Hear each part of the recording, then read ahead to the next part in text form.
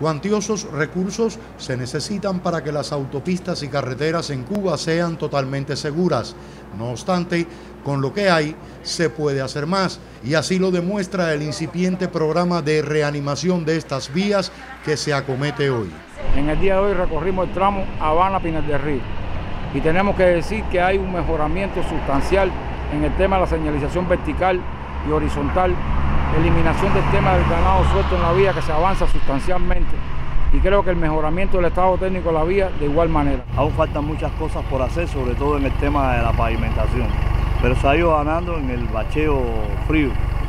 Eh, la pavimentación es un proceso extremadamente complejo que lleva implícito eh, un consumo importante de combustible y hoy el país tiene una situación extremadamente compleja con combustible. La pintura especial empleada en la señalización horizontal cuesta 6 pesos en divisas cada litro.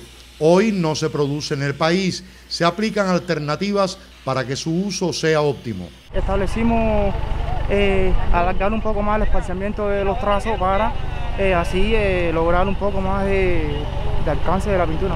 Ah, la estamos tirando 3 metros de, de largo y y 15 de, ancho aquí en la, vía ancha esta, porque en la autopista hay que hacerlo así. Autoridades de vialidad y tránsito consideran que poco a poco mejoran las condiciones de las autopistas y esas acciones deben acompañarse de mayor disciplina vial.